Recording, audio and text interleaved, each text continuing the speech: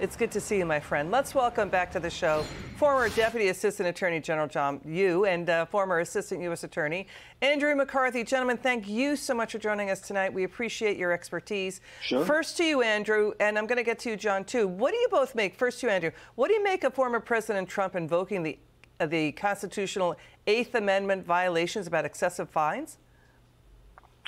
Well, it's one of the claims that he ought to make. Um, you know, there were other ones as well. They didn't get a jury trial.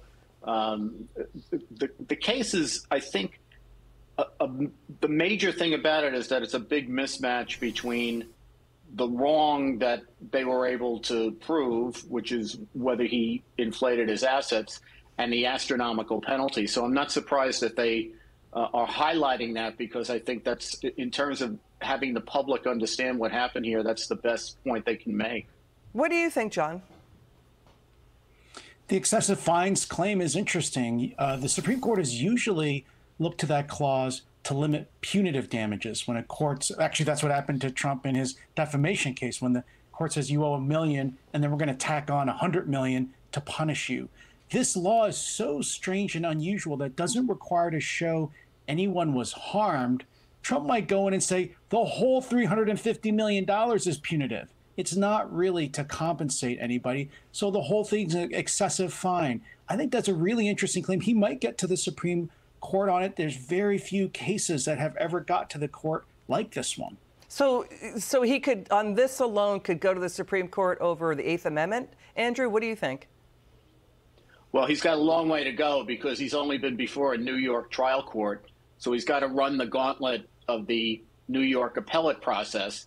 And I do think he may get some relief there in terms of the dollar amount of the of the of the claim, which is just really uh, exorbitant compared to what they proved he did. As John just pointed out, uh, there's no victim here, but it's such a peculiar statute. It, they really applied to him a statute that belongs in a consumer fraud case, not a case where you have sophisticated financial actors on both ends of the transaction. Um, so I think it was 70 years was the reporting I heard that this statute has never been used against anyone in Trump's position until now. Yeah, and that was the Associated Press finding that over 70 years of court cases.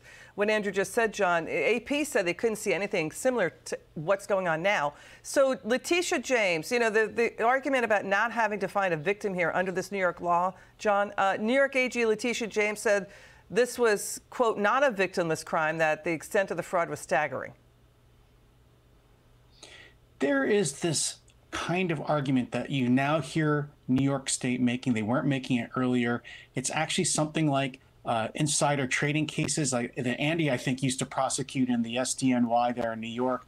But the idea is uh, the government has an interest to make sure the market works effectively. And so it's going to go after people, even though there's no victim, just to make sure they obey the law. Now, the problem for New York, New York is the financial capital of the country, if not the world.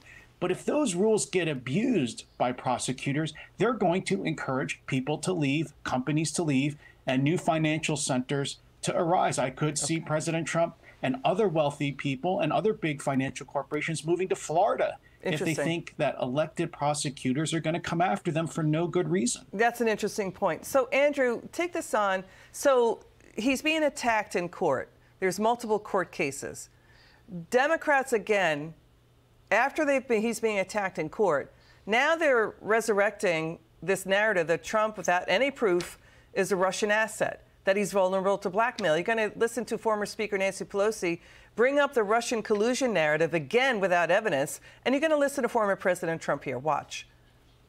He who shall not be named, I know Voldemort well, so there's another guy kind of like him. What does he have on Donald Trump that he have to constantly be catering to Putin, telling Putin, go into these countries, NATO countries? What do you think Putin has on him? I mean, it sure seems like something, as you've said a few times, given that he refuses to criticize him, that he seems to be a fanboy mm. of him. Dollars. So I don't know what he has on him, but I think it's probably financial, either something financial he has on, or something on the come.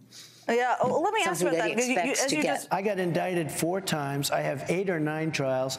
All because of the fact that I'm, and you know this, all because of the fact that I'm in politics. The Eighth Amendment excessive bail shall not be required, nor excessive fines imposed, nor cruel and unusual punishment inflicted. A lot of- it is lot of a no. form of Navalny, it is a form of uh, communism or fascism. What do you think, Andy? I think you need someone like John smarter than me to figure this out because I thought that Trump was taking orders from Putin, and now it turns out that Putin is taking orders from Trump. I, I they got me dizzy. I can't figure it out. Maybe yeah. John knows. What do you, John? Final word.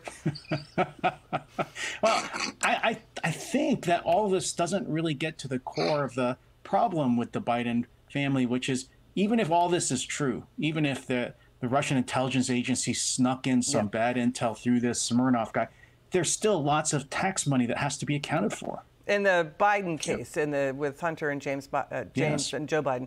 So we'll say on all these stories, it's a really interesting race so far. John, you, Andy McCarthy, thank you so much for joining us, gentlemen. We appreciate you so much. Thanks for and have a good you. evening.